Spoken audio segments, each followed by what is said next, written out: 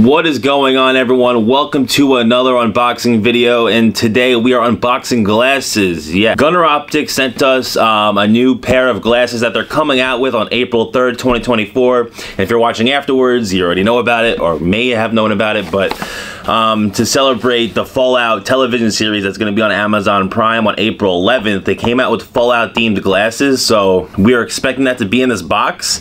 Let's see, let's start opening it and go right in fancy Gunnar box right here. And it does say uh, the style, color, lens, blah, blah, blah. Fallout 33 um, gunmetal slash olive amber, which is like, I guess, the color they use. So I guess we should start opening it. Um, a little strange doing an unboxing for glasses, just for some reason. I don't know why. Oh, we get another box. Just constant boxes after boxes. This looks like a fancy little box. Come on, let's want to open it. Okay. There we go.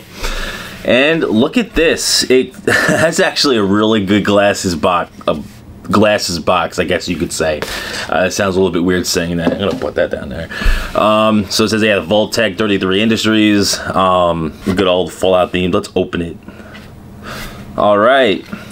We got, we got, we actually have the glasses in this bag. We have obviously the cloth to clean your glasses with which is, you know, it says Vault 33 on there, Vault 33 Industries, and the other side is um, Fallout and Gunnar, the new partnership.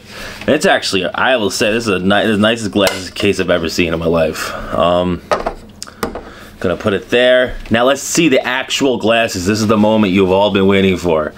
Um, these do look a little bit old school, so I'm like, at least in the pictures we saw, they looked a little old school, which they are because you know that's Fallout, completely old school in a way. All right, here are the glasses. I don't know if you could see that. We'll get a good close up on them for you guys. Um, I'm gonna try them on. So these aren't prescription glasses. They do have prescription versions of these at Gunnar. I wear glasses all the time um, because I need to because I'm blind. But I did not get the prescription one because I wouldn't be able to do this video for you guys showcasing these glasses for another like eight weeks until June and I figured, hey, let's just check out the glasses. I probably wouldn't use these in my regular everyday glasses, but let's see. Look interesting. I'm curious to see what it looks like on camera. Um, but it definitely like has that um, like, have like that blue light protection when you play video games, which I could tell.